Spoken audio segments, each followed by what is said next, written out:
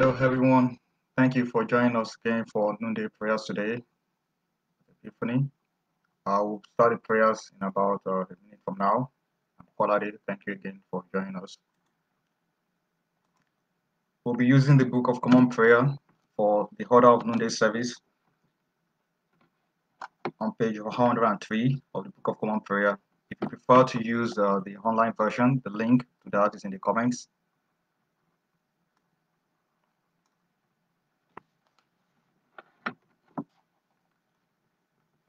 Few more seconds and we'll start.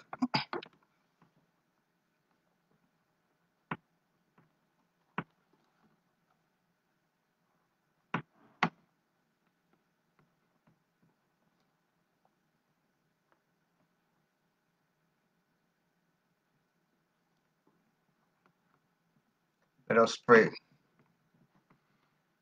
O God, make speed to save us. O Lord, make haste to help us. Glory to the Father, and to the Son, and to the Holy Spirit, as it was in the beginning, is now, and will be forever. Amen. Hallelujah. We'll be reading the Psalms, Psalm 119. Your word is a lantern to my feet and a light upon my path. I have sworn and I am determined to keep your righteous judgments. I am deeply troubled Preserve my life, O Lord, according to your word. Accept, O Lord, your willing tribute of my lips and teach me your judgments. My life is always in my hand, yet I do not forget your law. The wicked have set a trap for me, for I have not strayed from your commandments. Your decrees are my inheritance forever. Truly, they are the joy of my heart. I have applied my heart to fulfill your statutes forever and to the end. Psalm 121. I lift up my eyes to the hills, from where is my help to come? My help comes from the Lord, the maker of heaven and earth. He will not let your foot be moved, and he who watches over you will not fall asleep. Behold, he who keeps watch over Israel shall neither slumber nor sleep. The Lord himself watches over you. The Lord is your shade at your right hand, so that the sun shall not strike you by day, nor the moon by night. The Lord shall preserve you from all evil. It is he who shall keep you safe. The Lord shall watch over your going out and your coming in from this time forth forevermore. Glory to the Father, and to the Son, and to the Holy Spirit as it was in the beginning, is now, and will be forever. Amen. We now read a portion of the scripture. We'll read Romans chapter 5, verse 5. The love of God has been poured out into our hearts through the Holy Spirit that has been given to us. Thanks be to God.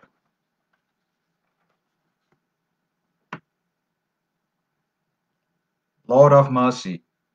Christ have mercy. Lord have mercy. Let's say the Lord's Prayer together. Our Father, who art in heaven, hallowed be thy name. Thy kingdom come, thy will be done, on earth as it is in heaven. Give us this day our daily bread. Forgive us our trespasses, as we forgive those who trespass against us and lead us not into temptation, but deliver us from evil. Lord, hear our prayer, and let our cry come to you. Let us pray.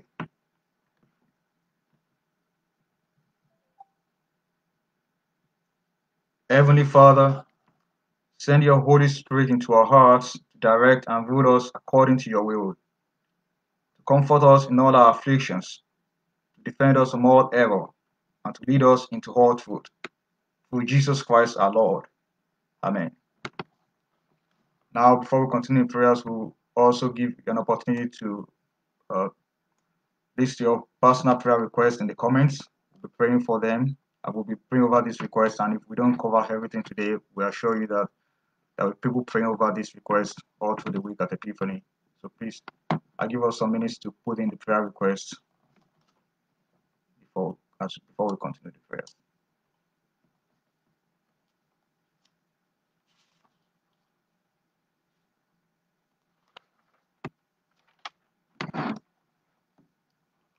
Also, would like to say a few prayers today for, especially because of the current situation in the country and over the world.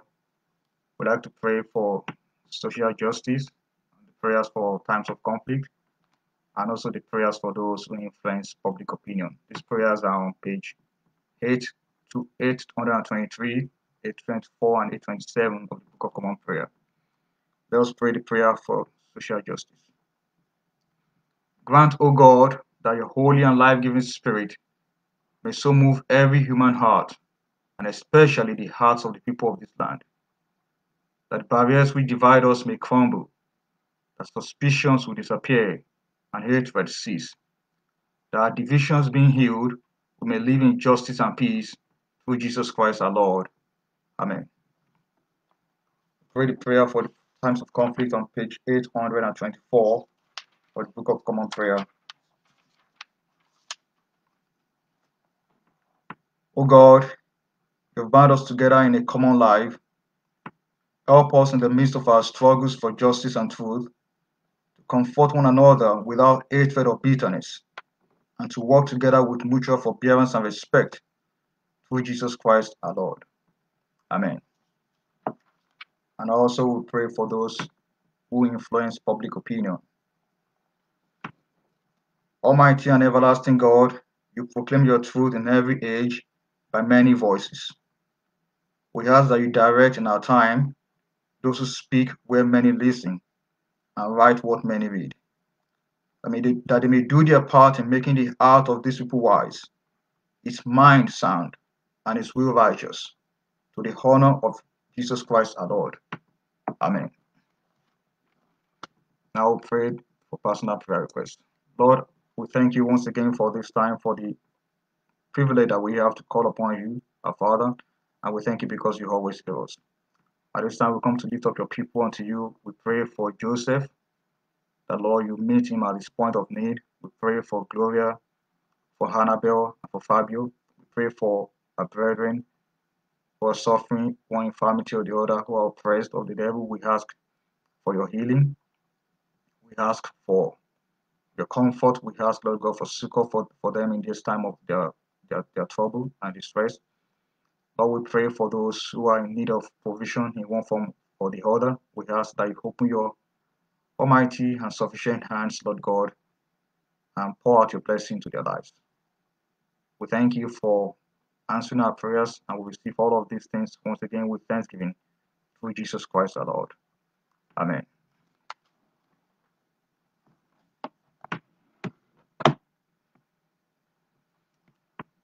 Let us bless the Lord. Thanks be to God. Uh, thank you once again for joining us. We would like to invite you to join us for prayers for Compline later today at 8 p.m. and for morning prayers every day of the week from 8, 8, 8 a.m. and Compline also every day of the week 8 p.m. Thank you and God bless you.